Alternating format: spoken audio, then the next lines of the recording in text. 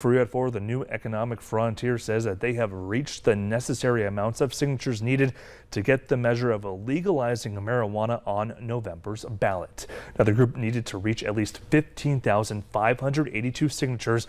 All of them will now be submitted to Secretary of State Michael Howe by July 8th. Now, again, if they weren't able to meet the required amount, the group would have had another year to gather those signatures to make the next statewide election.